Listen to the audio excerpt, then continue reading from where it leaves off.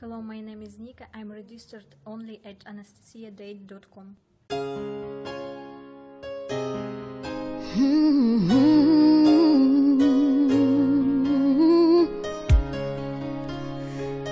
Walk